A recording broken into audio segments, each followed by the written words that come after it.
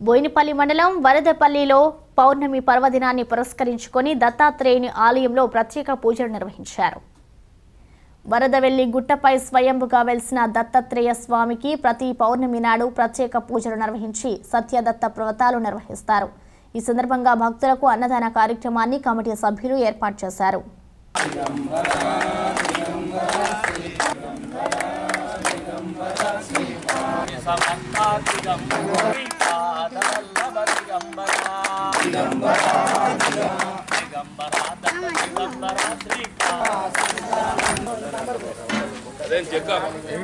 ఎక్కడ పోయి